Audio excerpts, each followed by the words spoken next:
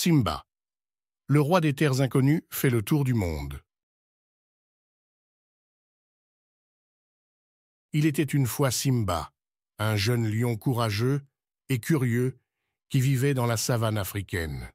Depuis son plus jeune âge, il rêvait de découvrir le vaste monde qui l'entourait.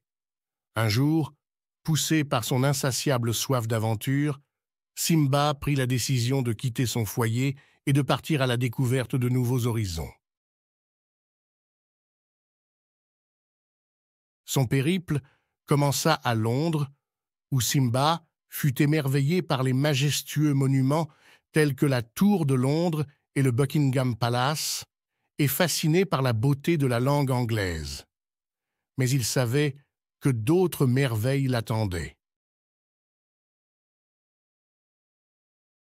Ainsi, il se rendit au Groenland, où les vastes étendues de glace et les aurores boréales firent battre son cœur.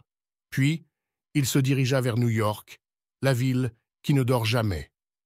En contemplant les impressionnants gratte-ciel et en se baladant dans Central Park, Simba se sentait tout petit, mais émerveillé par l'énergie de la métropole américaine.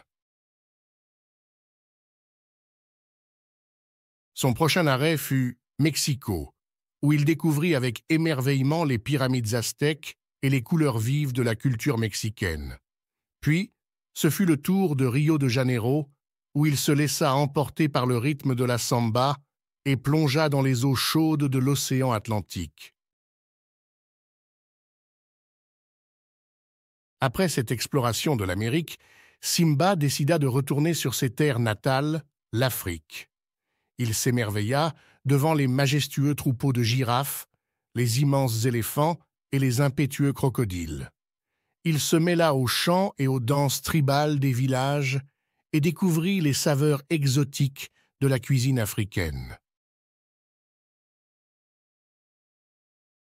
La prochaine destination de Simba était Sydney, en Australie.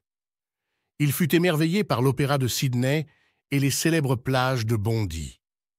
Il fit la rencontre de koalas, de kangourous et d'autres animaux emblématiques de ce pays.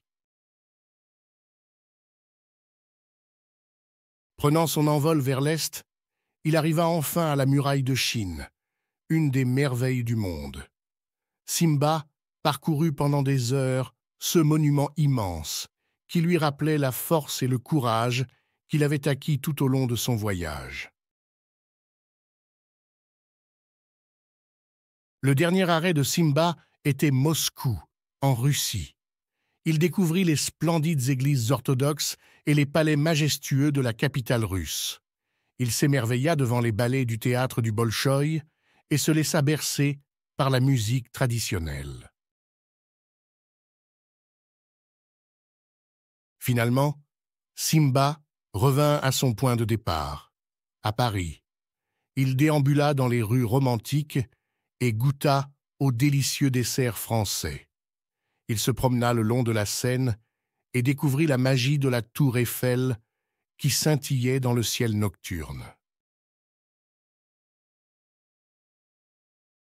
Après avoir parcouru le monde, Simba était rempli d'expériences de connaissances et de souvenirs inestimables.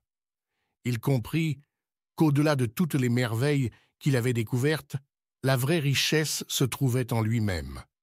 Et ainsi, il rentra chez lui en Afrique, prêt à partager ses aventures avec sa famille et ses amis, et à transmettre sa passion pour la découverte du monde aux générations futures.